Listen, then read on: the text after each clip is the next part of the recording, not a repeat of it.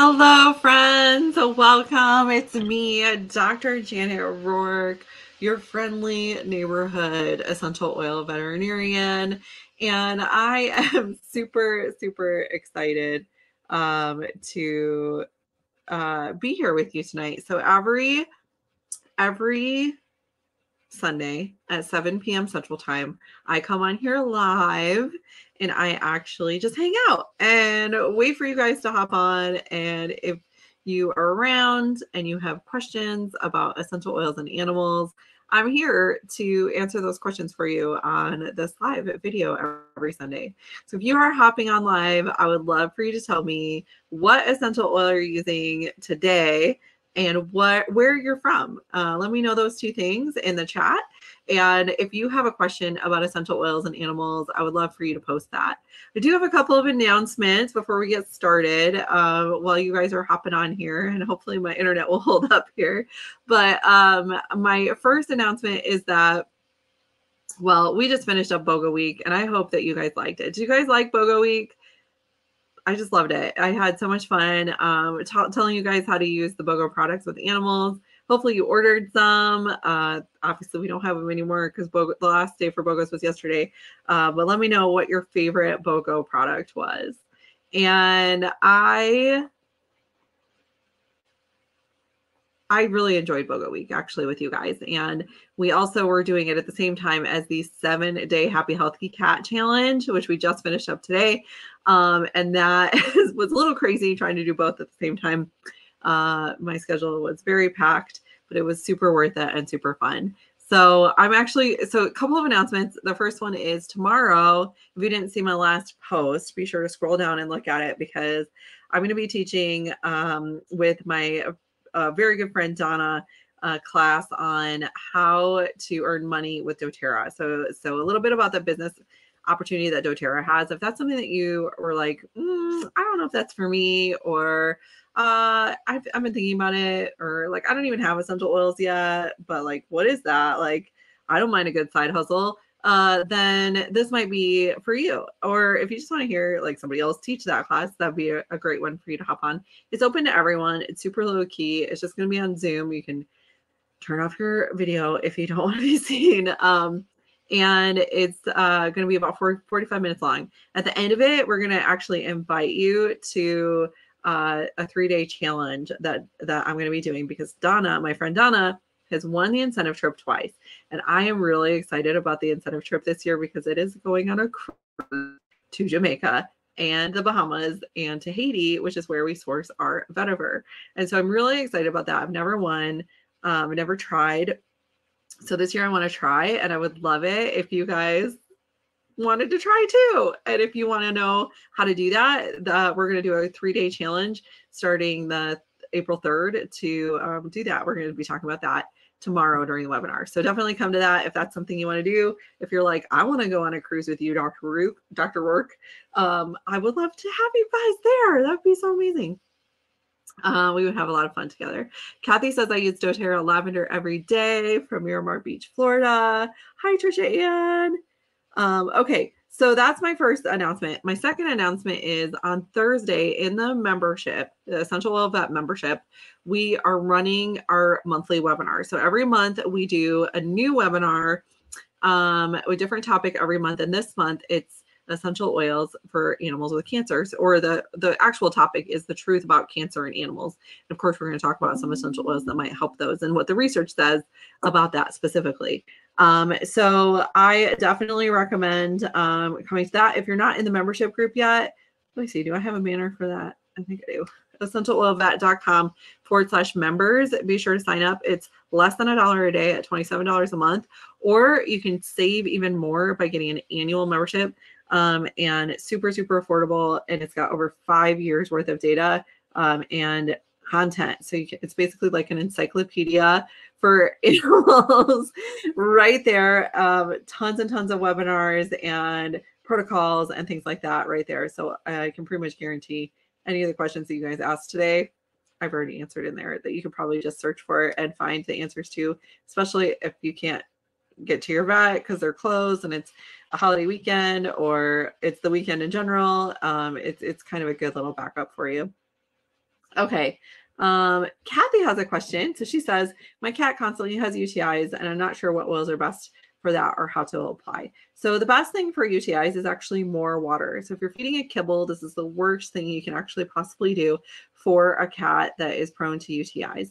Um, also has to do with the pH of the urine and not it not being an appropriate pH. So the best thing you can do is give more water, and the best way to do that is to mix it with wet food. One, give wet food instead of kibble if you're feeding kibble. Two, give uh, mix some extra water in with the wet food so they're drinking more water.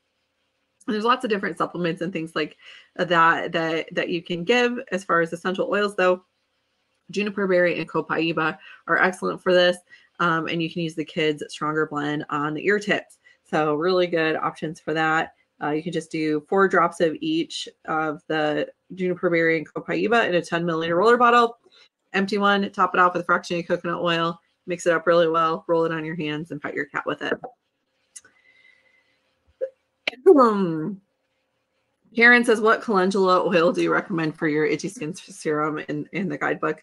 Um, so there is Amazon has one. Um, I think I put a link to it in the in in the recipe, the dog recipe guide. Um, I can't, I don't, I don't know the name of it, the brand or anything like that off the top of my head, but um, but I, you can actually make your own. You can actually do your own infusion of it as well, which is what I typically do. It's pretty easy to do with just olive oil. Oh, um, Lisa says I have a lot of the oils, but I'm afraid to use them on my dogs because I don't know how, or I'm afraid they're going to lick it off. So, Lisa, coming to the membership group is going to really help you with that because we teach you how to do that. And also, there's a really good, easy safety guide um, that you guys can get. It's essentialoilvet.com forward slash pet safety. The good news is if you're using doTERRA oils, it's okay if they lick it. It's not going to hurt them at all, but you're going to want to dilute it before you apply it. And that pet safety guide has all that information, including a dilution chart and how to dilute uh, for your animals. And it actually covers all species, not just dogs. But that might be a really great, easy place for you to start. This is a free safety guide. It's a free safety guide for anybody who wants it. Uh, you can definitely download that if you guys want. Uh, but I would say don't be afraid because the essential oils actually really help dogs and benefit them significantly. Um, so definitely check that out. Um, Dorothy says, where do you put vetiver drops on horses to calm them? So you can put it in a lot of different places. So I like to uh, roll it on, you know, put it on my hand and then just rub their forehead with it. So there's an acupuncture point um, that is right at the base of the forelock that is a really good acupuncture point or acupressure point for calming. And so you can, and most horses are kind of used to you rubbing their face uh, with your hand. And so I just do that. I put it on my hand and then roll it there. The other thing you can do, if they don't mind their head being touched, is behind the ears over the pole. Um, you can kind of put it there. Uh, that's a good place. You can also rub it on the coronet bands if they don't like their head being touched. Uh, around the coronet bands, or you can just even rub it on their chest and them breathing it in will actually help them a lot. Um, so hopefully that helps, Dorothy. Uh, Linda says, "What's the best way to help a cat with a heart murmur?" So we have a lot of oil, essential oils that help with the the heart.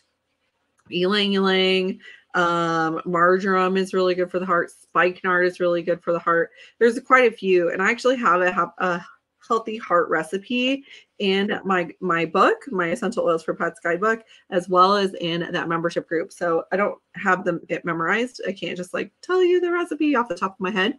Um, it's something that I, you know, um, worked really hard to develop. So I would say join the membership group. You can download that really quickly. Uh, it's worth it just for that that recipe, honestly. Um, so definitely check that out. Um, Linda says, I have a two year old Pomeranian Chihuahua who licks their paws a lot. Any suggestions? So making sure the paws are clean, really clean, and you can use a microfiber cloth to wipe them off with. Um, using a little bit, making sure they're not itchy. By you, you can use a uh, when you're when you're wiping the paws off. You can do like two cups of warm water and about you doesn't you don't have to measure it or anything like that, and a drop or two of lavender or Roman chamomile and um, dip your washcloth in that, wring it out really well, and then wipe their paws. It can really help with if there's any like bacteria or yeast going on or you know infection or anything like that going on as well as um, getting getting any pollen and anything off that that might be an irritant uh, to that. And it's, those oils are very calming and soothing as well.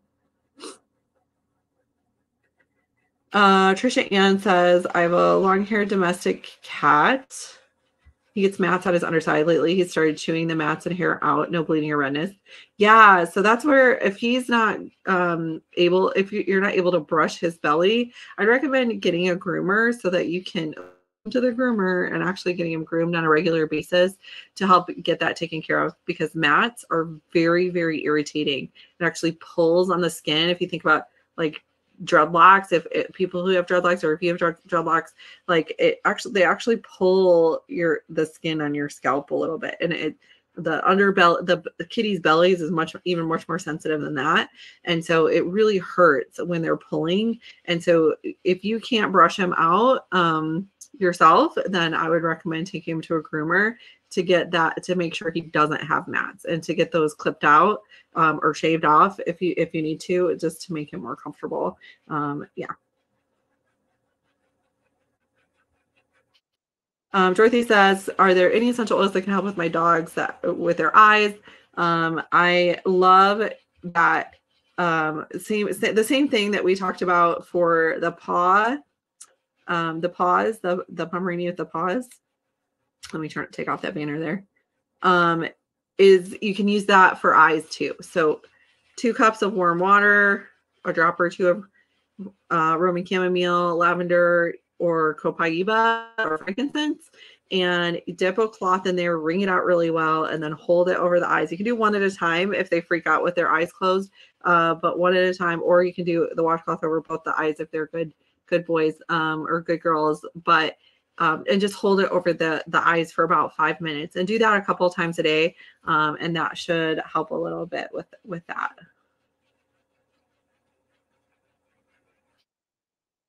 uh, laura says what uh, what oils can you use for a young cat that attacks my feet at night so i would recommend using calming oils like lavender uh, roman chamomile we have peace console um, uh, using a little bit of balance on your feet might help. Um, a little bit of petitgrain in your diffuser. We have lots of really good calming oils. Um, Adaptiv um, serenity is a really good one to diffuse at night uh, that might help uh, with the calming of the crazy kitty. And then making sure your kitty gets a lot of good exercise right before bed with a laser pointer or a toy a good 20 minutes of play uh, before bed so that the, they're not like wanting to play with you when you're trying to sleep um, right before bed it's a good time to play. Uh, let's see uh, Tracy says, any words of wisdom support kidneys and cats recommended uh, to be on a KD diet? And is this discussed in the membership group? Yes, we already have great posts on this, including nutrition um, recommendations, homemade recipes that you can even do, as well as a full protocol as far as what oils you can use and stuff. Uh, good options include copaiba and juniper berry, very supportive of the kidneys. And then the Trisha Ann says detangler I can use. Yeah, so you we actually we actually just covered this today in the seven day happy healthy cat challenge. Uh, I posted the recipe. Um, so eh, without getting into a ton of detail, you can actually use a little bit of boiled water and a little bit of conditioner, um, a gentle conditioner that's safe for kitties, um, and just like a tablespoon of it, and um, mix the boiling water and the conditioner. Obviously, let it cool and you can you can do oils in there if you want to but you don't have to. And then um, shake it up really well and then that actually is a really easy diy detangler. Dorothy yes you can use helichrysum absolutely. Absolutely all right, that is all the time that we have. It looks like that's all the questions we have today too. So, wow, I got through all of them. Um, so I hope you guys have a wonderful week. I hope you enjoyed BOGO week. I hope to see you tomorrow in the Zoom call. If you want the link to that, go ahead and just scroll down on my page. And then um, if you are wanting to join the membership, make sure you do it before Thursday because Thursday we're going to be talking, we're going to be having our monthly monthly member exclusive webinar, which is the truth about cancer in animals. And it's a really hard topic to talk about, but it's it's an important one, and it's something that a lot of people have gotten a lot of benefit from uh, in the past. So definitely uh, hope to hope to see you guys in there. Go to essentialoilvet.com forward slash members to to um, join the membership, and I will see you guys later. Bye, everyone.